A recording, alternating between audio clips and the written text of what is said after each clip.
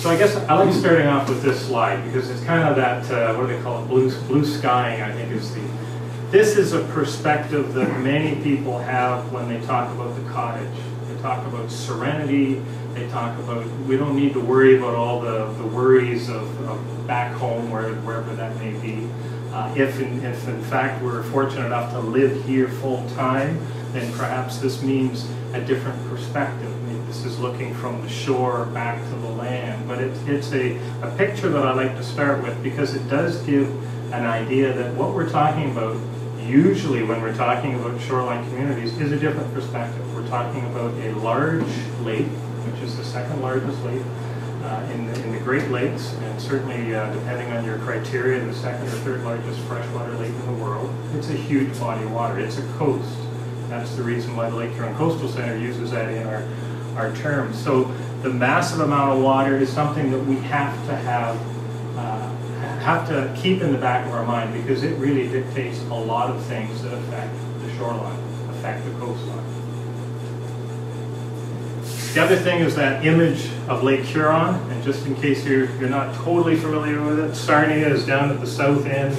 There's the uh, Point Clark area where I started off this morning. Here's our, uh, our Oliphant area here, Tobermory at the end, Georgian Bay, Manitoulin Island, and going up to the connection with Lake Superior. It's a, it's a large body of water. It's one that when most people think of the lake, they think of a large blue mass of water. The perspective aspect that I'd like to suggest to you is part of the work that we do is we look at it from a different perspective. This is as if you pulled the plug on Lake Huron and it drained away and the red is very shallow area, and the blue is very deep area. So this gives you an idea in the lake itself where we have the deepest water, where we have the shallowest water. And not totally unexpected, if we've got northwest winds, you can see where all the beach development occurs down around the longest reach across the lake and certainly Wasaga Beach area. So where you've got that gradation going from red to orange to yellow to, to green, those are where our beaches are and our beaches and dunes. So it's not by happenstance that we have those features in these particular areas. So when we start zeroing in on the shoreline of interest, here's uh, Point Clark, here's Bruce Nuclear Power Plant, there's Southampton, there's Pike Bay actually showing up on there, so we can assume our Oliphant area is right in there. And again, you can get into the details of the lake depths, which have an influence on our coastal processes, which have an influence on everything from ebb and tide of the, of the, of the water to uh, water quality, uh, to all sorts of other things related to erosion, position. And if we get one step further again and we dive right into the Oliphant area, we start looking at individual contours and what does that mean. And certainly uh, some of the image, like the one off of Donna's, off of Donna's wall, and I'll just hold that up just for a minute, you can match this with that image and start looking at, okay, what does it mean to have it really shallow in one area and not so shallow in another? and then where are the areas where because of the historic use we, we needed to dredge and do the work that we've done. So we can start getting into those levels of detail as we move along the process of the shoreline management plan. And we're just starting that now, and I guess that's the other thing that I want to um, make sure that I mention to you is this is pretty much the beginning. So we're now we're now looking at providing updates as we go along and providing the opportunity for people like yourselves who represent the community to share your ideas, your, your thoughts, and your concerns. As far as the Coastal Center goes, I think I've covered most of this. We are an ENGO, is the, uh, the terminology. We're registered uh, not-for-profit. We have a lake-wide perspective. And our priorities are water quality, biodiversity, coastal processes, and climate change. And those are the four areas that we focus on as priorities and they are all connected or interconnected. Climate change, you can almost consider that something to do with the sun. We talk about water quality, which is that blue strip. We talk about coastal processes, which could be that brown strip dealing with the ebb and flow of sand and sediments and erosion. And last but not least, biodiversity is usually referring to vegetation. It can also be referencing our different animal types, but certainly vegetation and, and the uh, wildlife go hand in. So that's where the coastal center comes, comes from.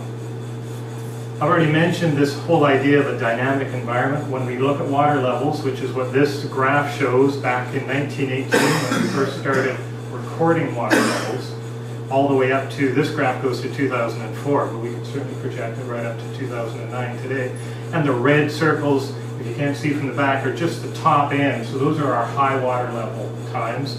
The uh, green circles are the, the lower end, and those are the, the times when we've had low water level. The lowest being in 1964, and the highest being in 1986. And again, for those people that have been cottaging or living, residing along the shoreline for years, you'll know those times right off the top of your head because you remember that was the time when everyone was driving vehicles offshore and trying to get to their cottages and, and uh, resorts. And, and then the flip side is in 1986, I think everybody uh, who was destroying concrete foundations somewhere had a place to put concrete foundation. They were putting it along the shoreline to save roads, to save cottages. It was a, a huge emergency operation just about all the way along the shoreline of not only this lake, but the other Great Lakes as well. Just because people were concerned about the high waters and the erosion that, that was occurring. And certainly from hindsight now, having about 25 years of active uh, uh, experience with shoreline management, we can see where the, uh, the, the, trials and tribulations are of that approach. Certainly we, having looked at this graph and seeing the highs and the lows, we should know better. We should know that the water levels are going to be a little higher than what they are today and a little lower than what they are today. Those are the types of things that we should be able to start planning for. And part of our coastal management uh, approach will be dealing with that and certainly bringing in some of the implications of climate change as well. This is something that I don't know whether you're aware of, but it's something that I thought I'd throw in here. Oliphant is the two slides at the top here, and this was some research that the Coastal Center was able to attract uh, a couple of people. Kevin Lupman, sorry, Tupman is the person that did the research at the top. And this is basically showing currently, when he did his research, which would be about four or five years ago, what the water levels look like with relation to the offshore islands in the Oliphant area. And he was projecting climate change impacts in Oliphant with this being more or less new ground, new land, submerged, or sorry, uh, areas that are no longer underwater.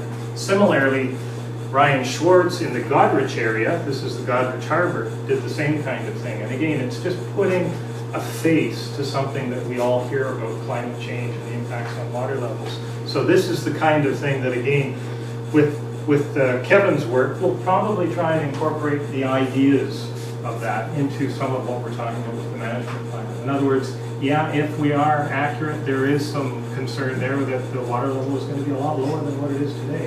And that's something that we should have some plans for. We should start thinking about. And both those uh, reports are, are, up on the Coastal Center's website, and I'll mention that right off the top. A lot of this information is on our website, and the website address is at the end of the presentation.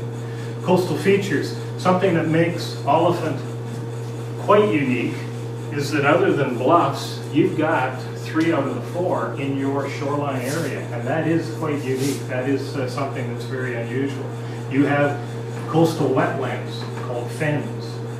Uh, you have dunes, you have alvars, and those are very uh, rare and unusual coastal features which make make your area especially uh, especially unique. I don't know if that's quite a word or not, but anyway, it's very unique. And that's the kind of thing that, again, the Coastal Center is very much involved in. So when we talk about wetlands, they are the, the, the Great Lakes wetlands are the, I call them the rarest of the rare If you've heard the discussion about Southern Ontario, we've lost 80% of our wetlands, something like that. The Great Lakes wetlands are the ones that are most vulnerable. They're the ones that are the most valuable just because they, they serve all those different functions and because they are at the edge of such a large body of water, that makes them that much more important. So they provide protection. If you've got a wetland in front of you, they actually protect you from waves and, and those types of things. Uh, they are habitat and certainly they're uh, nursery for fish. And they are very much the, uh, you've heard